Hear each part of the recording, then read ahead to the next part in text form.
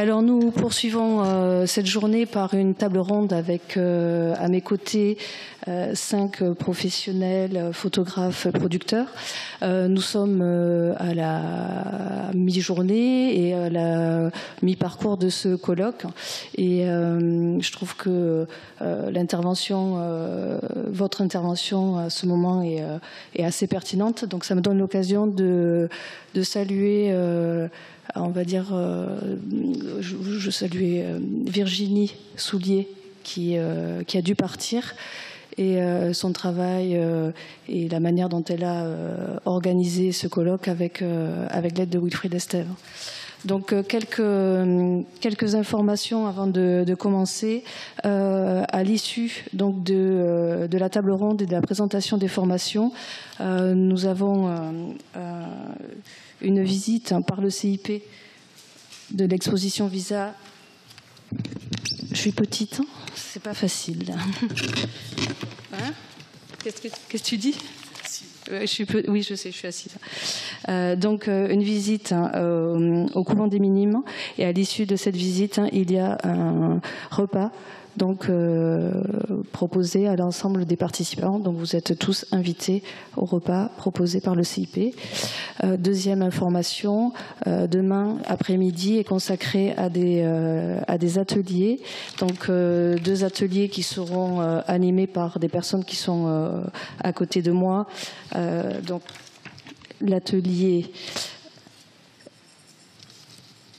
photojournalisme et approche du marché français, puis euh, l'atelier euh, métadonnées qui devait euh, se dérouler à l'annexe de l'hôtel de non pardon qui devait se dérouler ici se dérouleront à l'annexe de l'hôtel de ville et par contre les deux autres ateliers autour de l'éducation et l'image se dérouleront ici donc à l'hôtel de ville dans la salle des commissions au rez-de-chaussée. Voilà, on vous le rappellera demain, mais euh, c'était pour, euh, pour éviter des confusions demain, puisque ce sont des ateliers euh, sur réservation. Bon, on va commencer. Donc,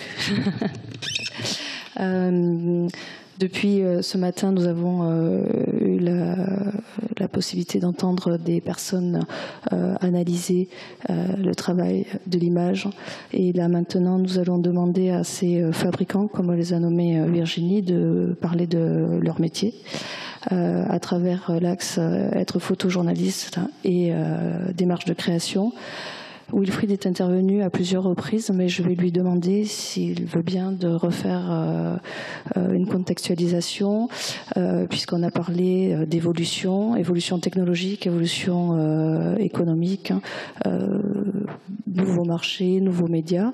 Donc si tu veux bien refaire une petite synthèse pour expliquer dans quel cadre s'inscrit ben, le travail de ces, photographes, sachant que tu reviendras plus longuement demain au cours d'un atelier. Merci. Merci. Alors, euh, quelques mots. Euh, alors, je suis photographe, mais je dirige aussi une, euh, une agence. Ça marche? Oui. Une agence s'appelle Hans Lucas. alors, euh, depuis 2006, en fait, euh, le, marché a énormément évolué. Euh, je dis 2006 parce que c'est la date de création de, l'agence, mais sinon, avant, moi je suis en activité depuis 1994, et depuis 1994, il y a eu des, ruptures. je pourrais parler d'une presse qui, dont les, les, colonnes ont évolué, fortement influencées par les tabloïds anglo-saxons, américains. la première impulsion en fait euh, sur laquelle, euh, enfin moi je me suis construit en termes de, photographe professionnel, ça a été de faire du reportage à travers euh, du, des reportages dits magazines. quand on voit aujourd'hui la place que, dans lequel enfin, s'inscrit le reportage magazine, c'est-à-dire du 4 à 6 pages, ça a fortement évolué, c'est-à-dire qu'aujourd'hui cette part-là s'est réduite, mais une autre, une autre part s'est ouverte, une brèche s'est ouverte pour les photographes qui voient aujourd'hui des photographies euh, toujours d'illustration, de reportage magazine, mais aussi d'illustration de, faits de société, d'actualité et de sujets long terme. En fait, aujourd'hui, on a à peu près quatre directions qui sont développées dans, les revues, dans les journaux, dans les magazines. Euh, euh, pareil, pour vous donner, euh, euh, il y a en 94 jusqu'en 2005, j'étais dans, des collectifs de photographes pour vous donner un aperçu en termes, parce qu'un photojournaliste se projette ou photographe documentaire se projette sur un marché. je pense que de, de 94 à 2005, on avait à peu près par structure si on avait, si on avait 300 clients, c'était pas mal. Aujourd'hui, en tout cas, on a 1200 clients ce qui est énorme. Euh, aujourd'hui, en tout cas, c'est connecté à des méga des méta-portails qui accueillent des, des, euh, agences. Dont, euh, enfin, il y, en a un qui, est français qui s'appelle Pixpalace, qui regroupe une soixantaine d'agences et qui capitalise à peu près 50 millions de photographies.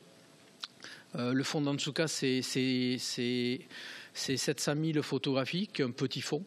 donc, une structure telle euh, qu'une agence se repose aujourd'hui commercialement, au-delà de ses clients, sur des métaportails qui accueillent d'autres agences. Euh, pareil, euh, je reviens sur Antsukas, on est diffusé par l'AFP qui est venu nous voir donc on va considérer l'AFP comme un méta-portail aussi parce qu'on est dans la, partie, euh, la partie collection de l'AFP qui regroupe euh, une soixantaine de collections dans lesquelles on retrouve euh, des, agences qui représentent des archives comme Roger Violet, à des agences qui sont très spécialisées sport ou people. C'est encore un autre, méta-portail. en termes de téléchargement que l'on a toutes les semaines, hein, toutes les semaines, alors au plus bas, bon, j'oublie un petit peu l'été parce que c'est vraiment des périodes creuses étant donné que les, numéros se font un petit peu avant, euh, euh, l'été. Euh, on, tourne, enfin cette semaine on a eu 900, 900 téléchargements de, de haute def et de basse def. Si je dois ajouter derrière ce qui se passe sur, sur l'AFP, on est à peu près, je pense, à 1300 téléchargements de fichiers. Ça c'est la période basse. On peut monter jusqu'à à peu près 4000 téléchargements de fichiers à, HD et BASDEF. Euh, c'est assez conséquent euh, en termes de, de, de, flux d'images. Euh, et du coup, on est bien, bien loin de la période que, j'ai connue jusqu'en 2000, sur lequel majoritairement on demandait à un photojournaliste de réagir par rapport à de l'actualité. donc aujourd'hui, un photojournaliste ou alors un photographe qui travaille pour parce que ça aussi c'est intéressant. Avant de travailler que pour les médias, des photojournalistes, entre guillemets, avec euh, le cachet euh, euh, journaliste d'information. Aujourd'hui, on retrouve une photographie dite créative, on retrouve une photographie documentaire qui est publiée dans les médias, ce qui n'était pas le cas il y a une dizaine d'années. Aujourd'hui, les photographes se sont complètement affranchis des médias. C'est-à-dire qu'avant, les médias produisaient l'information.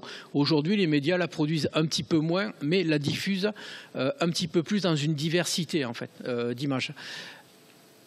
Alors aujourd'hui, un photographe qui se destine à travailler pour les médias, ce que je, ne conseille pas trop non plus, parce que le, champ en termes de clientèle s'est élargi, va bien au-delà des médias. Euh, donc le photographe qui, va pratiquer dans les médias, en fait, euh, évidemment, il y a le champ de l'actualité euh, sur lequel il, se doit d'être de réagir. Ensuite, il y a le champ de l'illustration de société, parce que quand on ouvre les revues, on découvre énormément bah, de, photographies qui vont toucher à la santé, la consommation, l'enseignement. Tout ça, c'est des, des, sortes de marronniers euh, ah, j'ai vu ce matin euh, d'ailleurs le temps de vie d'une photo ou le temps de, enfin, sur lequel une photographie va exister euh, par rapport à, son marché. Il faut savoir que la photographie d'actualité existe concrètement trois jours. La durée de vie de la photo, c'est trois jours. Lorsqu'on est sur une photographie dite d'illustration de société, on peut aller jusqu'à cinq ans. Cinq ans, le temps que les lampadaires ils changent de forme, que les voitures soient entre guillemets les modèles périmés, que les coupes de cheveux changent ou que la mode soit différente.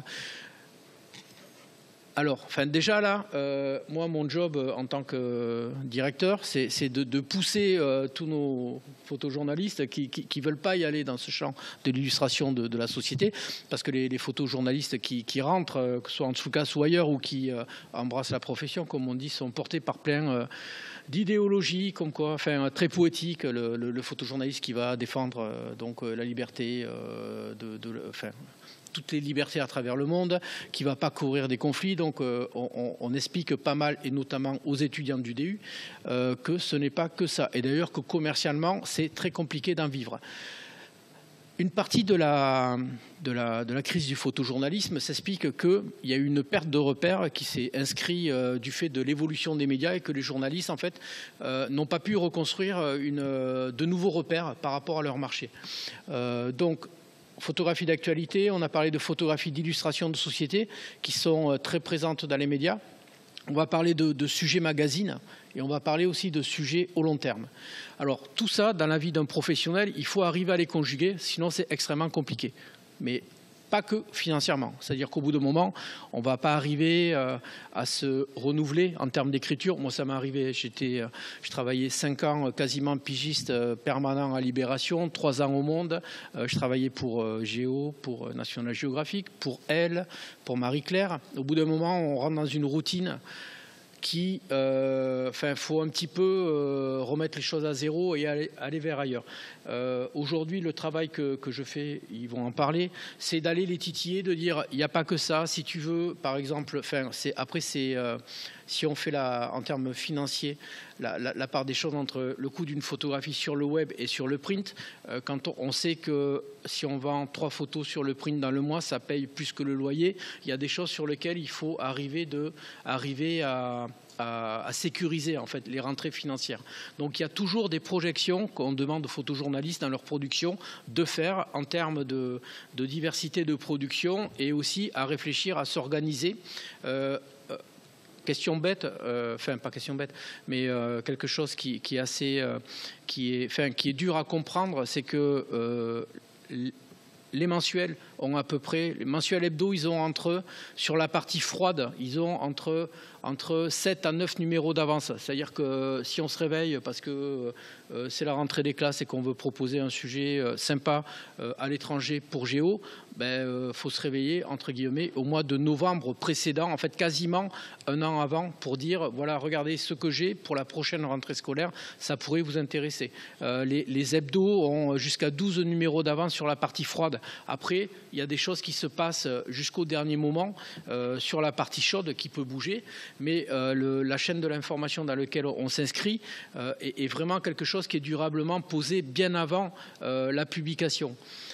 donc c'est tous ces mécanismes un petit peu sur lesquels on essaie de faire prendre conscience les, photojournalistes. Après, juste là, on est sur la partie publication d'Antsukas. Si, si on, descend un peu, donc oui, voilà, descend dans l'image avec deux doigts. Tu fais oui, voilà, comme ça aussi ça marche. Vas-y, vas-y. On va, je vais vous montrer un peu l'exemple d'une. Euh, hop, hop, hop, hop. Vas-y, encore, descends, descends, descends, descends, descends.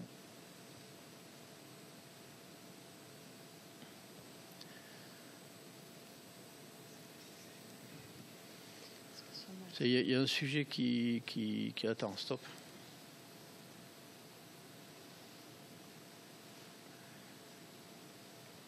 Voilà, là. Là, c'est plus haut en fait. C'est sous l'écologie là.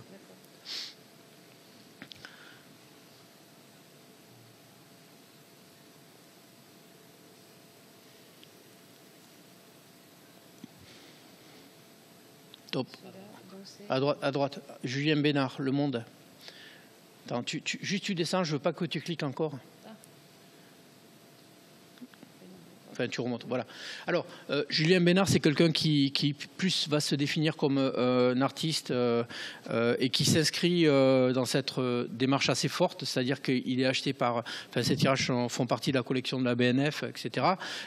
Ces, photographies, il a fait tout un travail plastique. Il s'est posté face à un immeuble sur lequel il y avait une entreprise. Il a concentré ses regards sur une photocopieuse. Il a composé entre le mouvement des salariés et la photocopieuse. C'est une série qui s'appelle La photocopieuse qu'il a euh, connaît un joli succès de publication de seconde vie dans, euh, le monde. Vas-y, si on clique. Et, ce qui est intéressant, c'est de savoir que voilà, ce type de. Quand tu, passes, euh, mets-toi en cheat mode. En cheat mode. À côté. quand, voilà, quand on voit ce type de photographie qui est achetée par la BNF, euh, passe, mais vraiment largement dans les colonnes du Monde. Hein. C'est pas Libé, hein, c'est le Monde en termes d'iconographie. C'est beaucoup plus classique. Euh, c'est vraiment un joli exemple en fait qui, montre que la presse s'est ouverte à une diversité d'écriture et que dans cette diversité d'écriture aujourd'hui, des gens dont euh, l'information est vraiment le pilier central, vont arriver sur des démarches un petit peu plus de création créative, qui était un gros mot complet dans les années 90. Et inversement, des gens qui, se, revendiquent artistes peuvent faire la une du monde d'une manière euh, tout à fait élogieuse. Euh, je vais réagir par rapport à, un petit peu à ce qui va être dit. Donc du coup, maintenant, je vais passer... Euh, alors, un, cas de figure qui est intéressant, notre ami Idriss. Idriss, quand, quand il m'a contacté il y a quoi? Il y a deux ans à peu près. Donc, il faut savoir que, en tout cas, il y a beaucoup de monde qui viennent de partout, en fait. Et Idriss m'appelle. Alors, moi, je suis super content. Il vit dans les Corbières. C'est top. Et quand même, on a eu une discussion sur. Euh, c'est sympa les Corbières comme cadre de vie, comme, euh, mais euh, il faut quand même rappeler que les médias s'intéressent un à Paris, ce qui se passe à Paris, et deux, en fait, vont arriver euh, sur des. Enfin, toi, tu dois arriver à te positionner par rapport à ça. la deuxième chose, c'est qu'Idriss, il a une particularité, c'est qu'à côté, euh, enfin, je sais pas si tu es graphiste ou tu fais du graphisme ou tu te sers fortement euh, de, ces outils-là, mais, mais en plus d'être photographe, en fait, il, fait du graphisme, qui revendique. Et il se trouve que Idriss a été là, vraiment l'heureux événement dans Tsoukas. C'est parce que c'est le photographe qui qui, vivant au milieu des Corbières, réussit à botter les fesses de pas mal de Parisiens qui sont sur Paris et qui produisent de l'information en termes de publication. Et donc, euh, ce qui s'est passé avec lui est vraiment super bien parce qu'il a su capter les, un petit peu, euh, enfin, à la fois capter et prendre de l'avance et réagir par rapport à ce qu'est l'information aujourd'hui grâce à de la création. Du coup, je te. Donc, du coup, il te donne la parole. Du coup, je ouais. ah. Euh, l'exemple que donne euh, Wilfried, ça va être, par exemple, si, Julie, tu peux ouvrir mon dossier. Euh, ma question, en fait, ça a été la première. En fait, j'ai habité Paris pendant. Enfin, je suis originaire des Corbières. J'ai grandi dans un petit village. Je suis parti de chez moi. Je suis revenu. Et après être revenu dans mes Corbières, je me suis dit comment je peux faire pour pouvoir euh, avoir des publications euh, sur des thèmes d'actualité, euh, tout en vivant dans un petit village. Donc c'était un peu ma, question. J'ai répondu de certaines façons, notamment en suivant des, des, événements d'actualité, en essayant d'avoir des images qui permettent de pas forcément être le, lier à, là où je vis, mais en tout cas le, avoir une, une résonance nationale ou internationale. Euh, notamment la, notamment, alors là, bon là du coup c'est pas c'est pas vraiment ces images là, mais euh, plutôt Euh, donc ça par exemple, si tu si tu reviens voilà. Donc là, par exemple, euh, bon, pour le coup, euh, ça a été lors des attentats de Trèbes, euh, qui se trouve à quelques, kilomètres de chez moi. Bon, là, pour le coup, voilà, il s'est trouvé que ça c'était à côté de chez moi. J'ai passé trois jours à, couvrir l'après, on va dire, ce qui m'a donné des, publications, là, notamment dans l'Express ou des commandes dans l'Obs. Donc là, j'ai pu répondre à une demande du fait que l'événement se passait chez moi. Donc là, j'ai pas pu. Voilà, il fallait. Euh, ça, peut arriver à, n'importe quel photographe ce genre de situation. Mais ce, qu'expliquait Wilfried, c'était plus vers les dernières photos, si tu peux. Donc, bon, encore euh, Oui, du coup, c'est, il commence par la fin de ce que j'avais prévu. Donc, par exemple, celle-là, si on, prend cette image-là, on a, on a, tous vu ces images-là par euh, centaines et par, par milliers. Il s'est trouvé qu'en fait, à Narbonne, euh, donc pas très loin de là où j'habite, a eu une première manifestation avant le fameux 17 novembre, donc le, le samedi d'avant. Donc, et cette manifestation a été la première. C'était une pré-manifestation. C'était une pré-manifestation.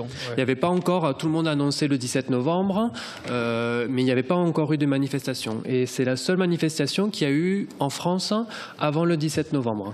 Donc il s'est trouvé que j'y suis allé, j'ai couvert cette manifestation, et toute la semaine d'avant, évidemment, les, médias avaient de plus en plus besoin d'images pour illustrer l'événement.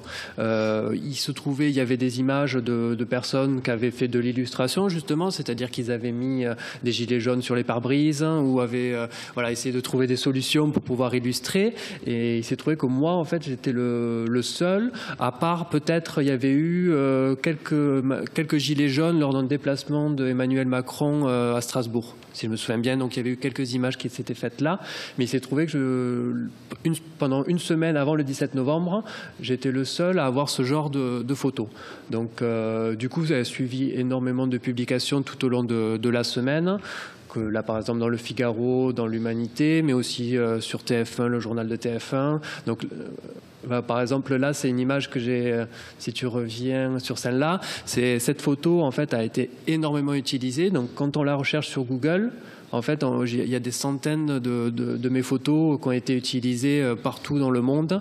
En fait, il arrive un moment où la photo est tellement utilisée qu'elle devient comme on appelle un mème ou quelque chose comme ça, c'est-à-dire qu'elle est réutilisée, réutilisée, réutilisée, et donc elle est, je, commence à perdre le fil de, savoir où elle se va, mais elle c'est plus, euh, il y a des publications officielles, hein, mais il y a énormément de, publications qui ne sont non officielles, donc les gens réutilisent la photo pour illustrer euh, leurs revendications ou leur ou annoncer euh, une, une, future manifestation, des choses comme ça. Alors ça, je me permets de te couper, c'est une des nouvelles problématiques auxquelles se heurte le photographe c'est euh, le, traçage, le traçage de ces photos sur le web, et le paiement ou alors l'interdiction euh, et, le, fait de retirer la photographie. C'est depuis à peu près 8 ans, ça n'existait pas il y, a, il y a 15 ans en fait. Donc là, notamment la semaine dernière, hein, euh, je voulais voir où, était un peu cette photo encore, parce que je sais qu'elle elle a été un peu moins maintenant, mais elle a été beaucoup utilisée, et je l'ai retrouvée sur le, site euh, euh, d'une élue, d'une élue régionale et de, ville qu'il a utilisée sur son site hein, comme illustration. Donc j'ai fait appel à Pixtrack pour pouvoir essayer de voir un outil parallèle à, à Pixpalace pour pouvoir revendiquer les droits d'utilisation, euh, comme un monsieur aussi qui a utilisé cette photo pour une couverture de livre. Et j'ai pas été informé. Donc voilà. Donc c'est des, on arrive à des fois à trouver, à avoir, euh, à avoir, euh, à avoir ce genre de, choses, mais c'est très difficile. C'est vraiment très difficile. Ça se perd dans les méandres d'Internet et, autres. Donc c'est assez difficile de pouvoir trouver dessus et bah, revendiquer. Non, non, non, je suis pas d'accord. Maintenant, il y a, la, fin, la technologie évolue. Jusqu'à présent, en fait, il y avait deux types de recherche. La, recherche, la, première basique qu'on a vue arriver, c'est une recherche par assimilation. C'est-à-dire qu'on va dire, euh, on va interroger euh, l'ensemble du web en disant cette photo-là ressemble à celle-là. Du coup, on assimile, on informe le photographe. Aujourd'hui, tout ça, c'est fini. tous les fichiers, en fait, sont, euh, il y a des points invisibles qui sont inscrits dans le fichier et là c'est juridiquement c'est complètement c'est blindé, c'est-à-dire qu'on va pouvoir récupérer sur du print ou du web l'ensemble des fichiers d'une manière et, pouvoir les amener devant un tribunal en fait. Je vous dis ça parce que vous êtes universitaire et c'est pourrait que grâce à Google, vous utilisiez nos photos. Donc, je, vous conseille juste d'avertir le photographe qui ne va pas forcément euh, vous demander, euh, mais juste lui dire voilà, il se trouve, il y a ça, nous aimerions l'utiliser, est-ce que c'est possible ou pas, rémunéré ou pas. Ça, c'est le premier truc.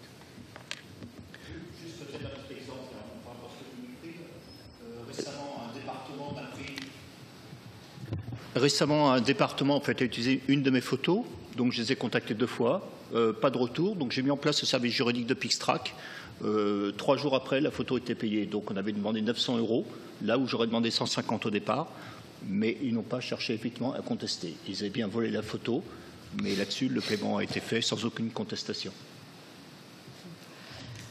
Idriss, si tu veux continuer, avec euh, quel... Euh, On peut aussi, ce que parlait Wilfried tout à l'heure, si tu continues après. Ça, c'est ta première... Euh, voilà, ça c'est... Première, En fait, là, c'est vraiment au, tout début, quand j'ai rejoint Hans Lucas, je me suis demandé vraiment comment j'allais pouvoir faire pour traiter l'actualité sur des termes nationaux et internationaux.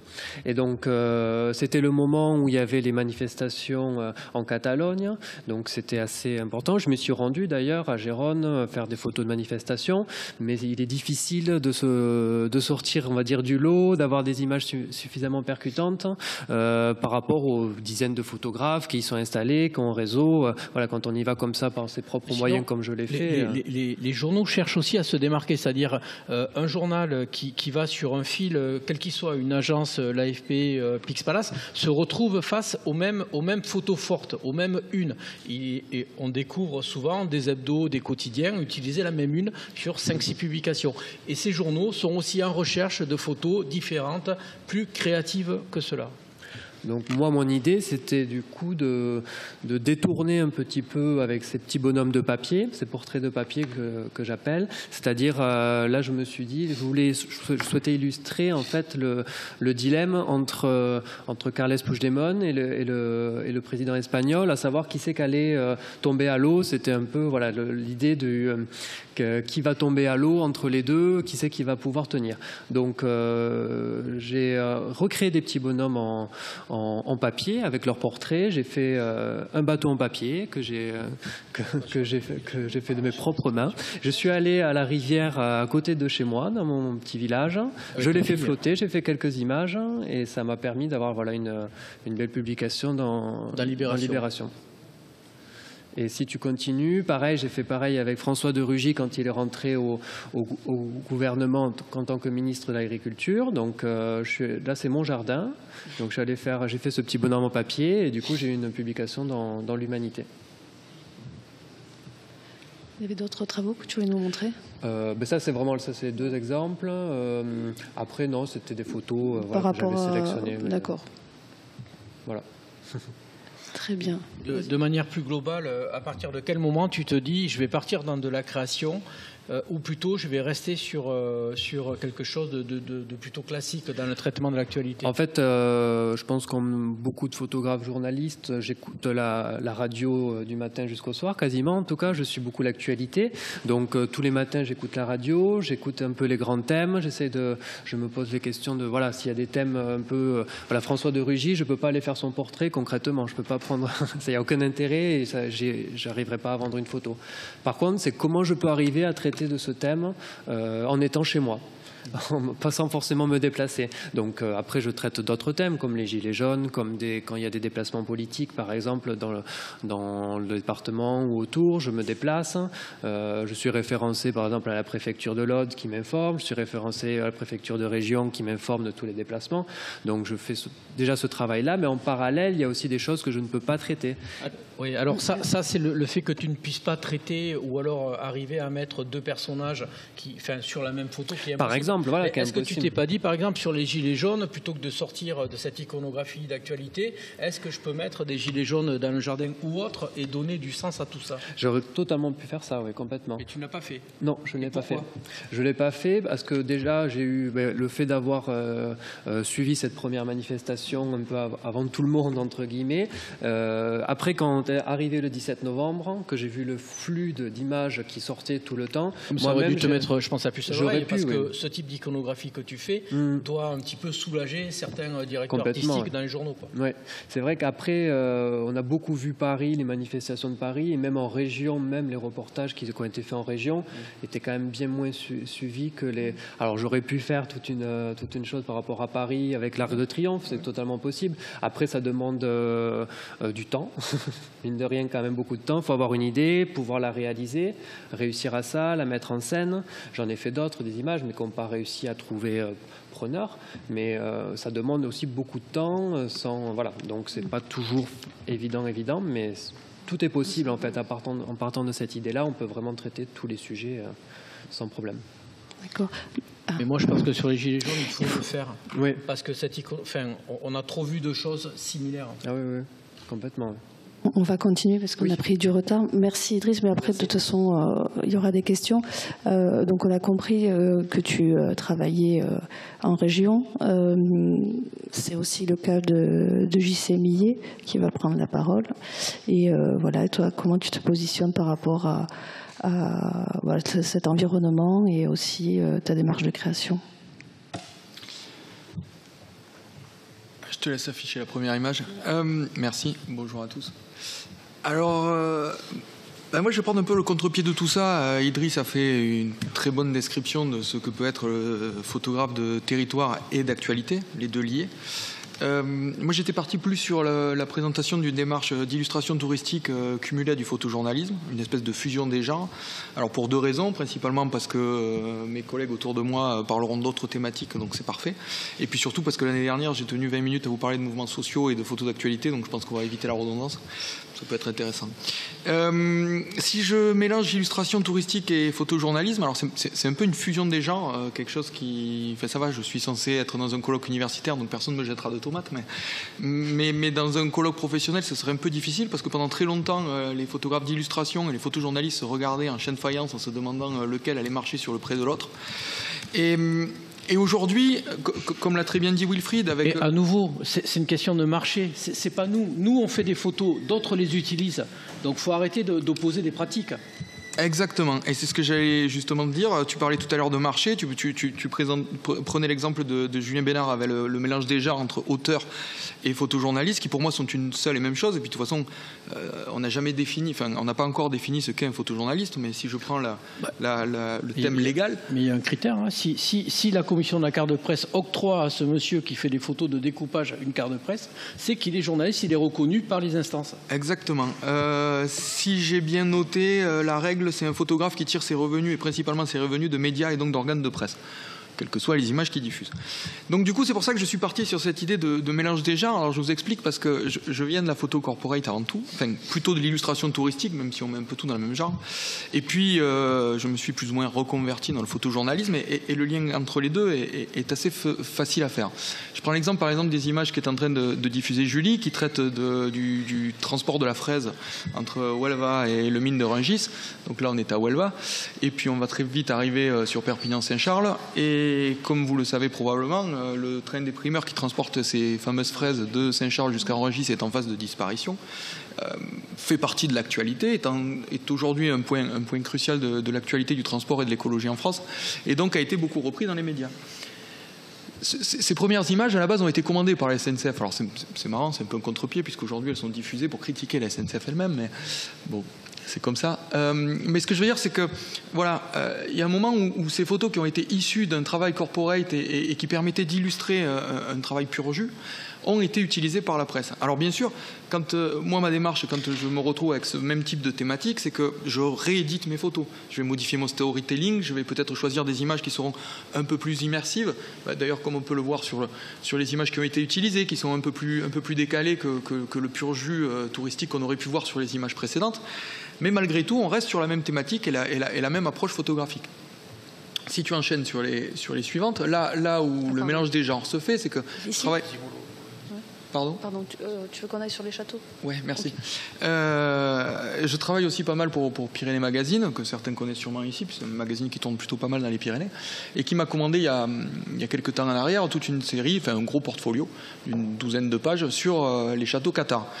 Là où c'est intéressant, c'est que c'est pareil. Finalement, dans mon approche euh, créative et dans, ce que je vais aller chercher dans la réalisation de ces images-là, on se retrouve dans une démarche touristique. C'est-à-dire que je vais essayer de, mettre en valeur les châteaux et donc de, les magnifier au maximum.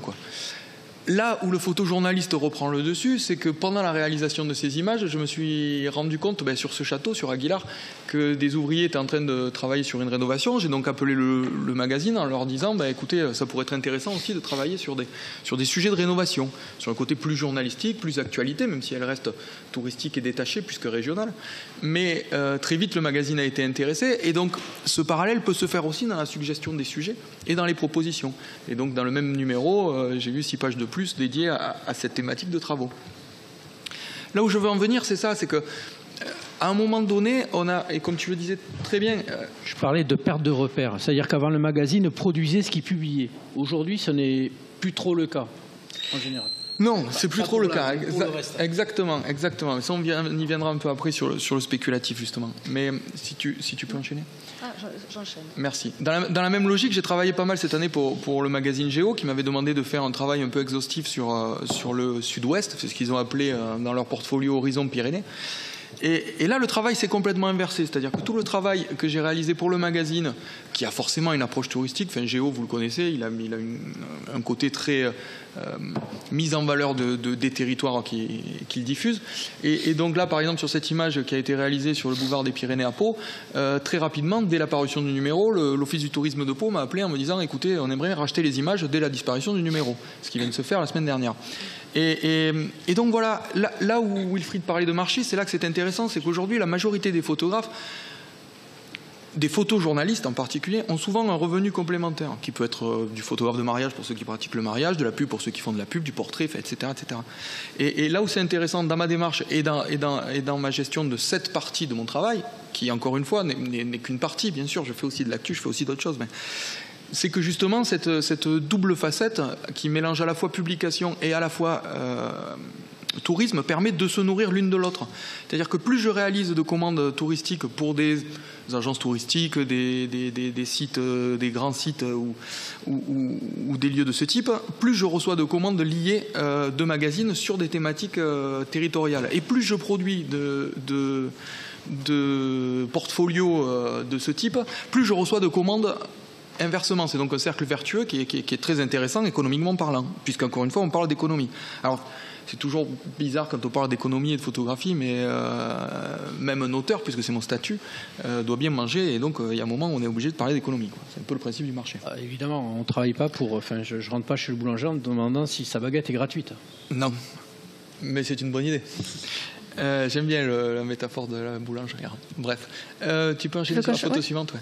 Donc là, voilà, pour, pour vous donner un autre exemple, euh, j'avais réalisé un travail pour la station de, de- de ski de Heine-Cambredaz, donc qui est juste au-dessus de chez nous, et j'ai très rapidement diffusé les images sur Pix Palace, comme tu disais tout à l'heure, et ça permet rapidement d'être publié dans la Croix, qui avait besoin d'illustrer euh, de façon de façon la plus précise possible et, et- et esthétique euh, le tourisme français la reconquête des sports d'hiver. Donc c'est pour ça que cette- ce, ce parallèle se fait. Alors je sais que pendant très longtemps, c'était, c'était, c'est ce qu'on disait tout à l'heure, le mélange des genres était, pro- était, était mal vu. Jusqu'à il y a 10 ans, c'était impossible dans, dans la, la- la mentalité des photographes. Clairement, clairement. Alors il y a encore des magazines qui sont réticents. Euh, J'ai, euh, Ah c'était- dans ce cas-là, il faut les inviter à produire.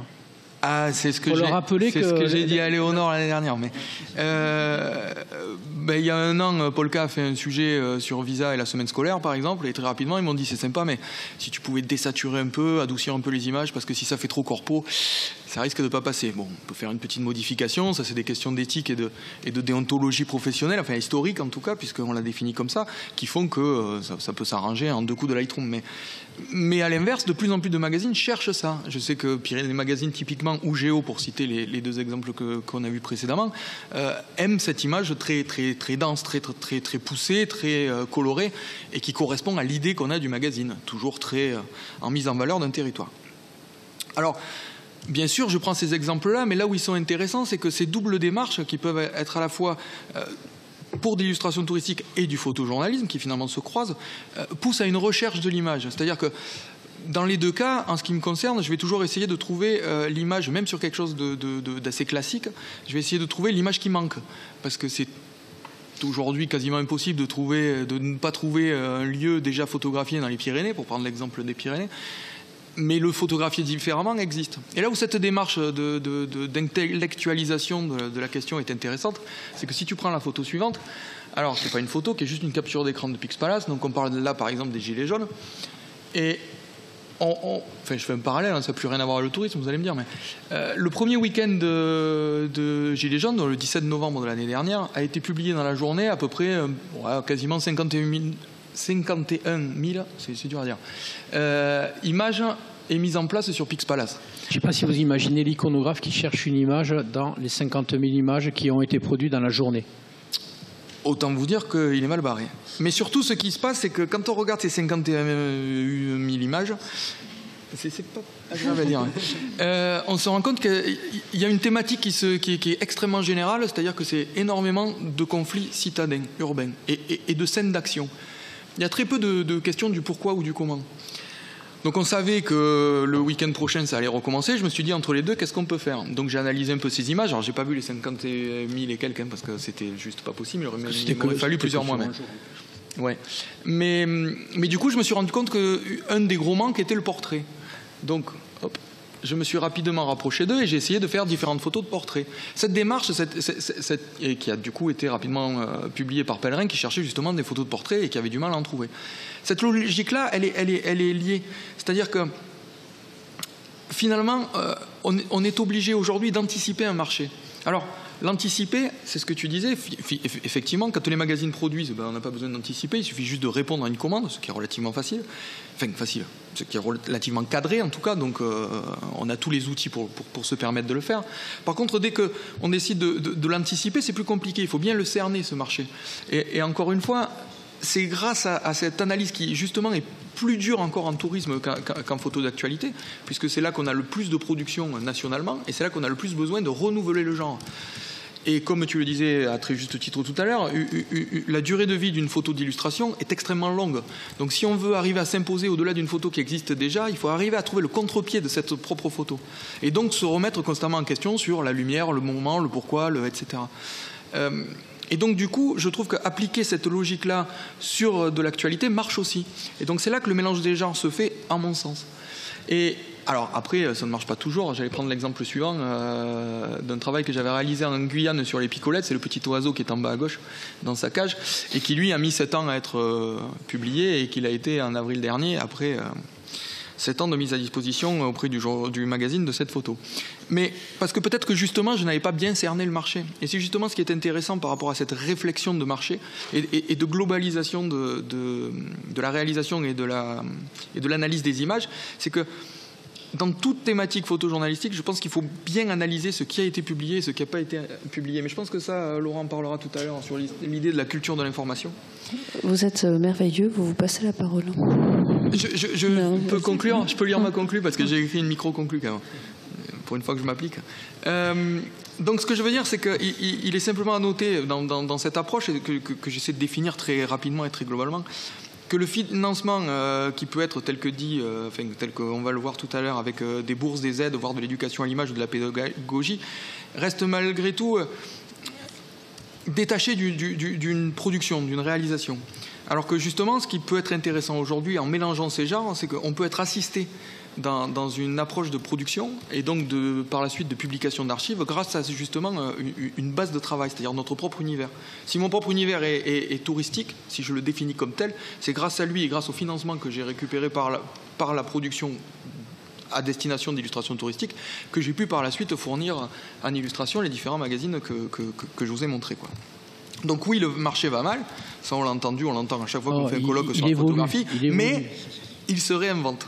Et ça, je pense que c'est surtout ce qu'il faut retenir, c'est qu'on arrive aujourd'hui je pense que le photojournaliste, dans, son approche de, photographie, doit toujours avoir la faculté d'adaptation à un sujet. Il doit être capable de modifier son approche et son editing ou son storytelling au fur et à mesure de la réalisation de son sujet. Et, de la même façon, il doit pouvoir le faire avec son économie. Et c'est justement ce qui est intéressant, je pense, aujourd'hui dans la photographie, c'est qu'on peut mélanger les genres et les approches photographiques juste pour pouvoir répondre à, un milieu économique et à un marché qui est en constante évolution.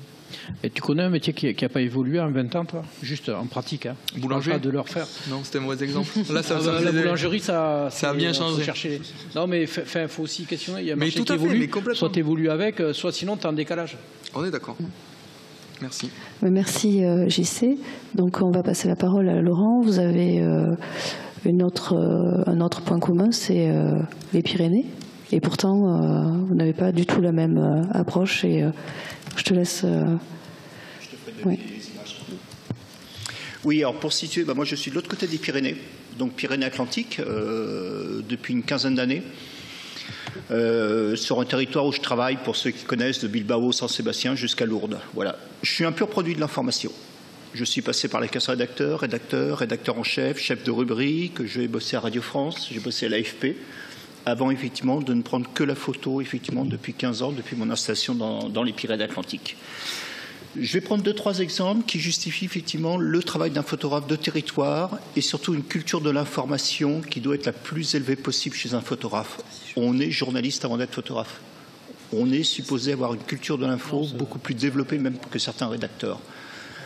Euh, là, je sors d'un été de, commandes. J'étais non-stop. J'étais à peu près une quinzaine de commandes sur tout l'été, qui se passent par l'Express, la Croix, euh, le Parisien, la Vie, etc. Donc moi, je suis quelqu'un, effectivement, sur mon territoire, plutôt euh, débordé de travail sur une période de l'année. Et de commandes, donc de production, où là, je n'ai pas le temps en été de proposer d'autres sujets. Ça me même peu de temps pour produire. J'ai démarré par cette photo parce qu'elle est un petit peu symptomatique. On est à Lourdes. On est pendant la conférence des évêques. C'est la première fois que les évêques euh, donnaient la parole aux victimes de pédophilie. Euh, j'ai la chance à Lourdes. En fait, c'est un territoire qui a été abandonné par la presse pendant 5 à 10 ans.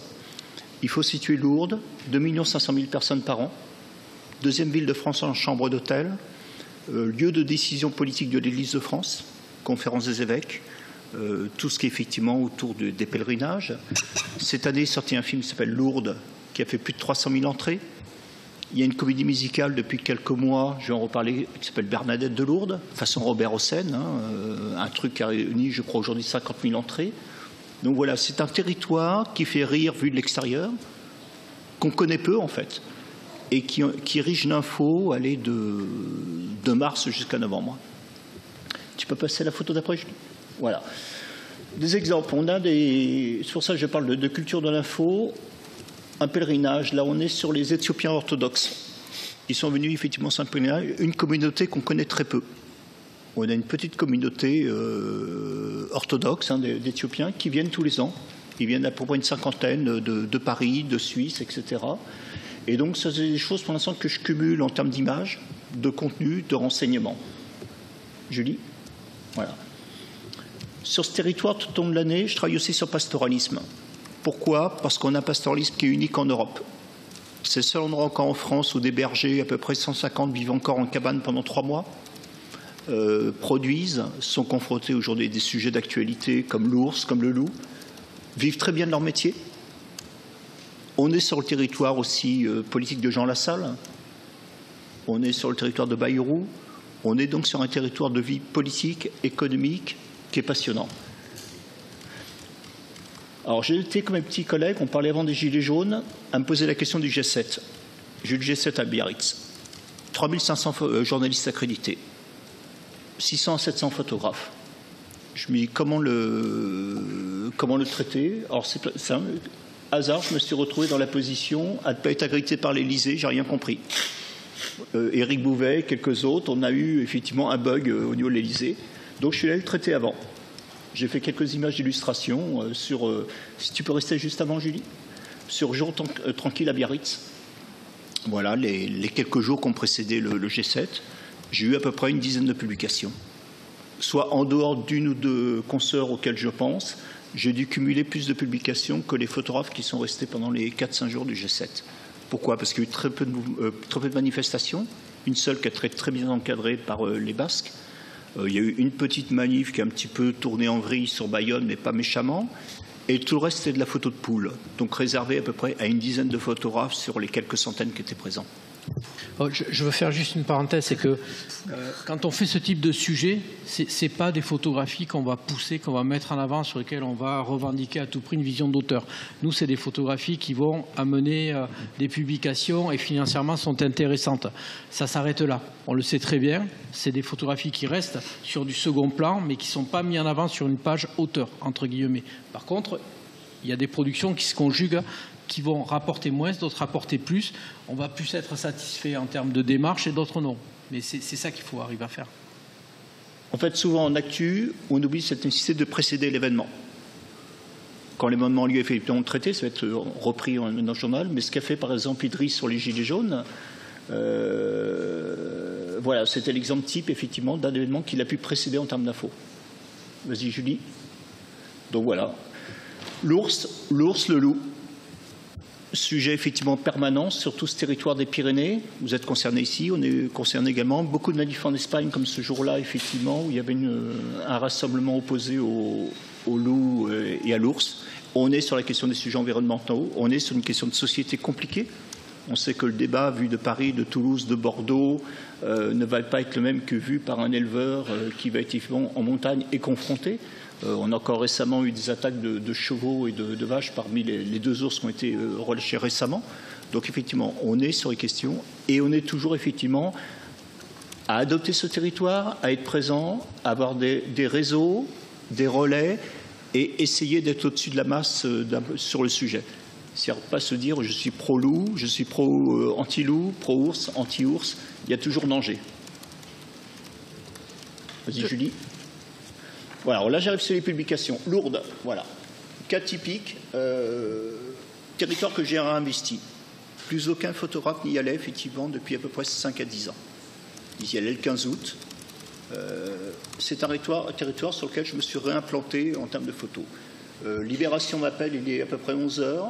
Il y a une conférence de presse avec Barbarin à midi. C'est à peu près le temps de route qu'il me, me, faut.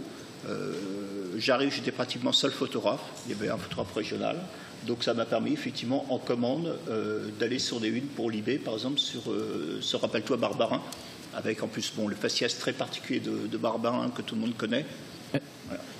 Est-ce que, quand tu, fais cette photo, parce qu'on parle d'information et de création, tu laisses le vide exprès pour mettre de la titraille en te disant. Oui, volontairement. Alors c'est vrai qu'on parlait ce matin icono, euh, service photo, rédacteur en photo.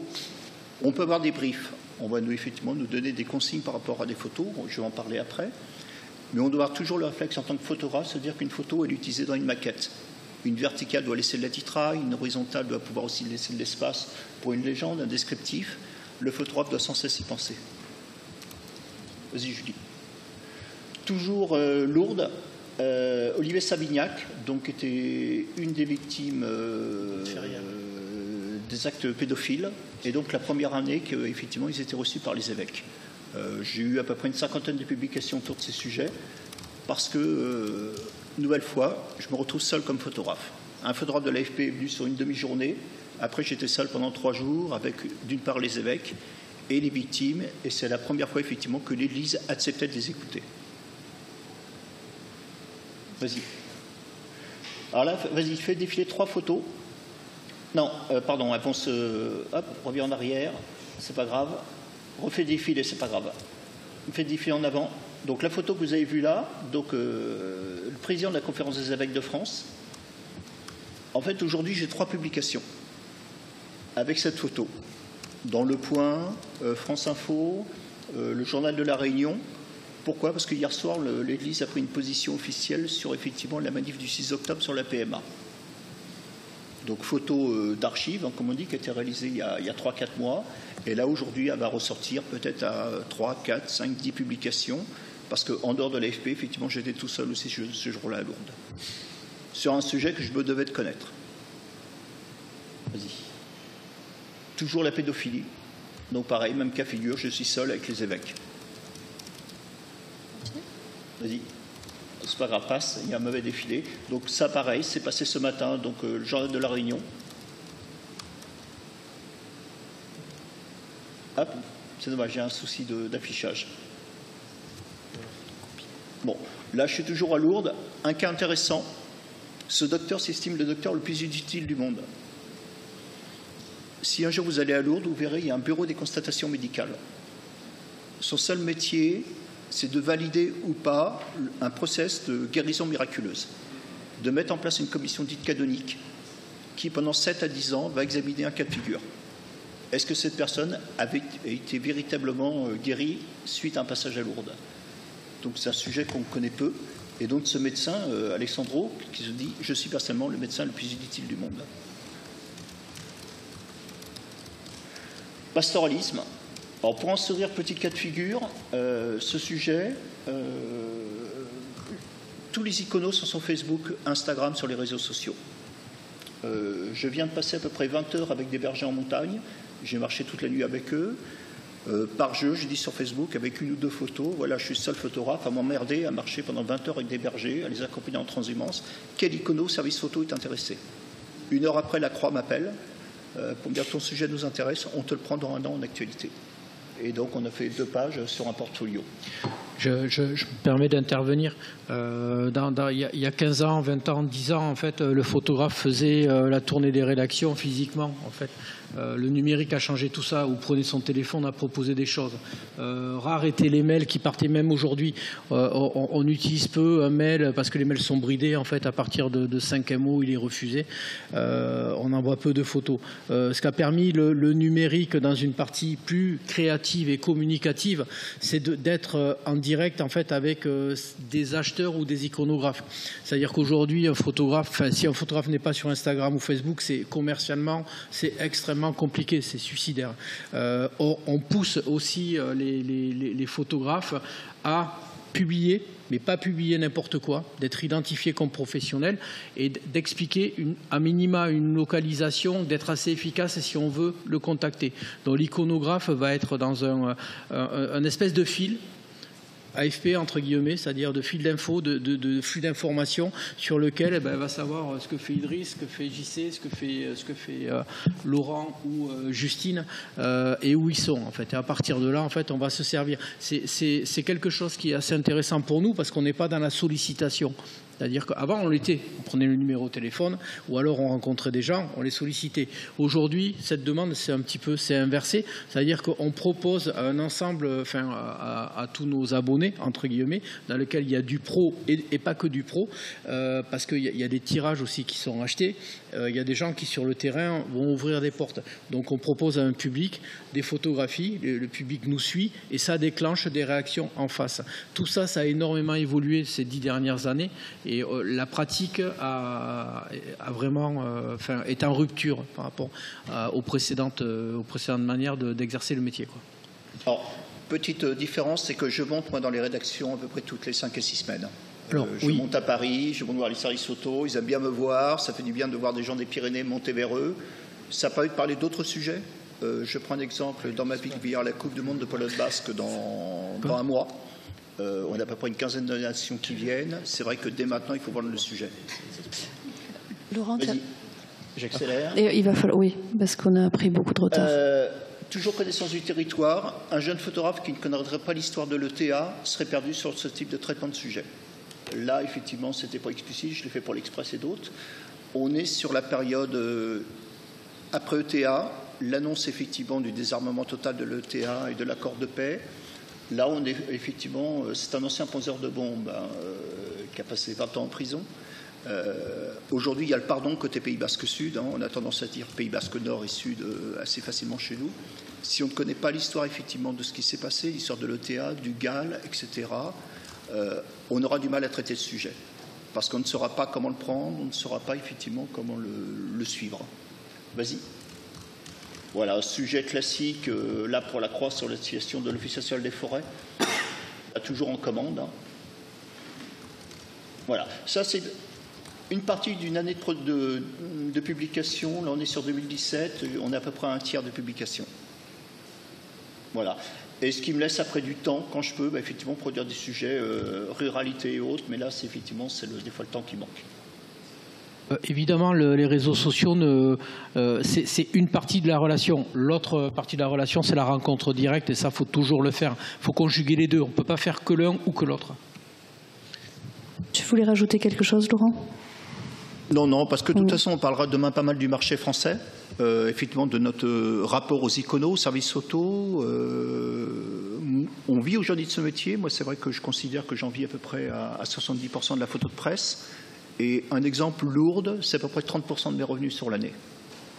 Pour un petit territoire qui a que 160 ans, euh, mais sur lequel effectivement il y a une actualité permanente que ne soupçonnent même pas beaucoup de journalistes. Et aujourd'hui, même les médias traditionnels comme l'Obs viennent à Lourdes faire des sujets de 8 pages.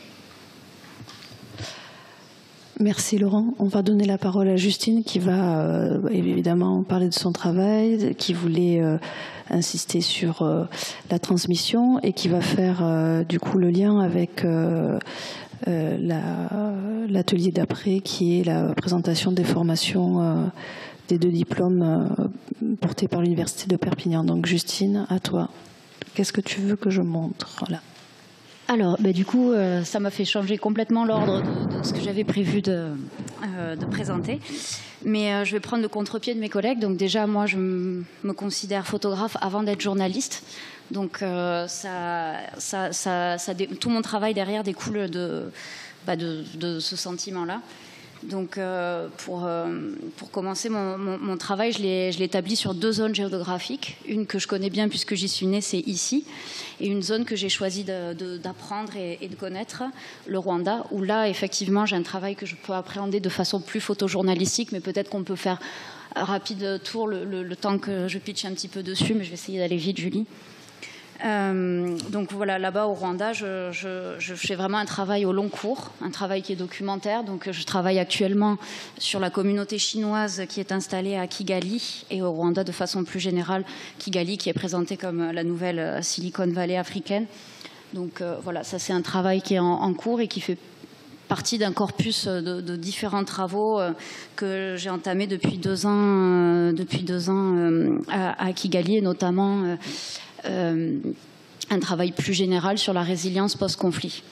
Voilà. Donc, bon, je je ne sais pas exactement euh, ce que je pourrais préciser euh, là-dessus, euh, si ce n'est que justement dans cette démarche inverse et, là où je voudrais rebondir par rapport à mes collègues. Donc moi, j'ai pas fait le choix d'anticiper un marché, j'ai pas fait le choix de faire mon travail photographique dans l'objectif de, le publier au travers des médias classiques. Je fais le travail juste parce qu'il me plaît et que je suis poussée à le faire. Et c'est peut-être là qu'on rejoint les valeurs du photojournalisme. C'est peut-être des valeurs de sincérité, d'engagement et de rigueur de travail parce que malgré tout, derrière toutes ces photos, il y a aussi un travail de légende de, qui, est, très très important où il faut être euh, précis parce que quand on a une production assez dense, il faut pouvoir s'y retrouver et de, et puis même euh, pas que s'y retrouver soi-même, mais également euh, que la photographie est une, valeur documentaire. Donc voilà. Et sur le deuxième pendant, donc ici dans la région, et là c'est assez marrant et je voudrais bien en parler un petit peu. Euh, ici, donc euh, il m'arrive euh, d'effectuer des commandes pour, pour, la, pour la presse. Et de mes commandes, souvent résultent des projets au long cours ici. Donc, comme quoi, des fois, le travail de photojournaliste peut aussi alimenter une démarche de création à l'inverse. Donc là, vous avez l'école de Kérigut. L'école de Kérigut, c'était un sujet de commande l'année dernière, un sujet de rentrée des classes, tout simplement. Kérigut, c'est un petit village euh, en, Ariège, mais euh, vraiment euh, tout près des Pyrénées-Orientales. C'est un petit village complètement enclavé donc enclavé du reste du département. il se trouve bah, qu'ils ont fait une rentrée un petit peu spéciale l'année dernière. ils se retrouvent avec 16 élèves, 9 niveaux pour une seule institutrice. Voilà, donc euh, c'était un suivi de rentrée. Et puis bah, il se trouve que c'était l'école de mon enfance. Donc quand j'ai commencé à présenter ce projet pour euh, le vendre une seconde fois, on m'a dit mais tiens c'est marrant, euh, il y, a, quelque chose d'assez sensible et finalement on aimerait bien que tu creuses là-dedans. Donc bah, j'ai décidé de poursuivre. Depuis plus d'un an maintenant, je suis à l'école très fréquemment. Et du coup, comme quoi, d'un travail photojournalistique, on peut aussi partir sur un travail, un projet personnel, sensible et intime, et un travail de photographe, euh, d'auteur. Voilà, donc ça c'est un premier exemple. Et sur un deuxième exemple, du coup, là, vous avez, le, enfin, on pourra voir après, Julie, euh, je ne sais pas si les images ont déjà toutes défilé, euh, mais... Euh, tu, veux rester sur ce, tu veux rester sur ce sujet Parce que du coup, c'est un petit peu le même cas. L'année dernière, donc j'ai une commande pour la, la, Croix avec les jeunes reporters citoyens ici. Donc ça, c'est grâce à Antsoukas aussi. Je pense au système de géolocalisation qui avait été mis en place. Donc j'ai été contactée par la Croix pour, pour réaliser ce reportage. Et il se trouve que j'ai une très bonne accroche avec les jeunes reporters citoyens et euh, donc euh, là, cette année, on voit euh, l'annonce de passeur d'images. Donc là, j'ai pas, j'ai pas d'illustration hein, pour ce projet-là puisque c'est celui qui est en cours. Et donc passeur d'images, donc une, une, bourse, une bourse qui est attribuée par la région Occitanie. Donc je monte un dossier, dossier que j'ai remporté, mais aussi grâce au soutien donc et, à un travail associatif avec le jeune reporter citoyen. Donc pareil, même démarche, un sujet de, de commande finalement qui m'a mené euh, complètement euh, à, faire un, travail euh, au long cours ou un travail plutôt d'éducation à l'image ici sur, sur, sur la région. Alors peut-être que je vais en dire un petit peu plus long maintenant sur les projets. voilà. Donc là, aparté fini sur Passeur d'image. Passeur d'image, c'est un projet qui vient suite à nos super-héros. Donc moi, je suis très très sensible euh, à, des valeurs d'éducation à l'image, parce que donc je suis toute fraîche hein, sur le marché euh, du photojournalisme et euh, Donc du coup, disons que je me suis confrontée les premières fois à, un manque euh, d'éducation à l'image, que ce soit des sujets ou au niveau de la diffusion, etc. Il y a beaucoup de problématiques qui sont, beaucoup de confusion en tout cas euh, de, la part des publics qu'on touche. Et je me suis rendu compte, notamment euh, en, travaillant juste à côté de chez moi, hein, auprès des, des squats, des sans-papiers qui étaient à Perpignan, donc à la gare et dans un autre quartier. je me suis rendu compte que en termes de diffusion des images, euh, les gens n'avaient pas tellement conscience de l'impact que ça pouvait avoir et des enjeux sur la vie des personnes. Donc là, j'ai commencé à, m'engager sur un terrain qui est autre et finalement que je trouve très lié au photojournalisme et à l'évolution, euh, à l'évolution de la diffusion de l'image aujourd'hui, parce qu'il y a eu un manquement euh, finalement d'un accompagnement des publics par rapport à l'évolution du champ de diffusion de la photographie. Donc euh, bah, c'est un territoire sur lequel j'ai vraiment envie de me lancer et sur lequel je me suis lancée déjà depuis plus de deux ans quand même. Donc euh, voilà, ça c'était nos super-héros. Donc nos super-héros, c'est né justement de cette idée-là. Euh, des, des, associations locales, je ne critique pas leur travail, ils sont très bien, ils soutiennent les sans-papiers, il n'y a pas de problème, mais ils effectuaient beaucoup de maladresses sur la diffusion des images euh, des, enfants et, des familles qui étaient en situation très précaire, euh, sans papier euh, notamment, et dont ben, évidemment les, enfin, les, enjeux étaient importants pour eux de la diffusion d'images et ils ne se rendaient pas compte de ça, eux, pour les besoins de leurs associations respectives. Ils ont commencé à diffuser des images des enfants sur les réseaux sociaux. Alors c'est vrai que les enfants, c'est très vendeur. Enfin on est très sensible à la situation des enfants euh, de façon générale et du coup ces associations-là euh, bah, publiaient sur leurs réseaux sociaux tout simplement euh, des photographies d'enfants qui étaient en, attente d'être déboutés, hein, il ne faut pas se mentir. Donc donc, euh, enfin voilà. Du coup, il y, avait, vraiment pour moi un travail de fond à effectuer sur les enjeux de, la diffusion de ces images et d'accompagner euh, donc les militants et les associatifs euh, sur, leur travail à l'image. Donc nos super-héros est né de cette idée-là. Donc on a commencé à travailler avec les enfants eux-mêmes parce que c'était important qu'en tant que public sensible, ils soient aussi conscients que leur représentation avait une valeur. Euh, la façon dont elle est représentée avait vraiment une valeur euh, aujourd'hui en fonction de l'actualité. Et du coup, euh, c'était important d'avoir un projet qui regroupe tous ces pendants. Donc, juste après le démantèlement des, squats, on a commencé à monter nos super-héros, qui est juste un travail de mise en scène. En fait, on a accompagné les enfants à inventer leur propre super-héros. On a choisi la figure du super-héros tout simplement parce qu'on ne le reconnaît pas. Il est grimé, il porte un masque, donc euh, on ne joue pas sur, euh, on, ne reconnaît pas les enfants. Et les enfants, c'était important pour nous justement qu'on ne les reconnaisse pas, mais qu'ils sachent qu'il faille pas qu'on les reconnaisse. Justement, c'était là la, valeur d'éducation à l'image qu'on souhaitait leur apporter. C'était euh, de dire que c'était important de ne pas les reconnaître. Et surtout, c'était aussi important qu'ils se représentent eux-mêmes comme ils souhaiteraient qu'on les voit. Donc euh, on les a accompagnés à, inventer leurs propres super-héros. Et de cette façon-là, ils se, ils, se, montraient comme ils avaient envie qu'on les voit. Donc enfin voilà, c'est tout un travail euh, d'éducation à l'image. Je ne sais pas trop quoi, comment continuer là-dessus. Euh, ah oui, sur les moyens de financement peut-être de ce genre de projet. Donc au-delà, des bourses, c'est du crowdfunding. Et moi, pareil, euh, sur mes projets au long cours, et eh ben, comme je n'anticipe pas un marché, etc., et que les médias, c'est pas mon objectif principal, ben, c'est simple, je vis du corporate, du studio chez moi et des mariages. Merci Justine. Donc euh, par rapport à l'éducation à l'image, demain il y a deux, euh, deux ateliers.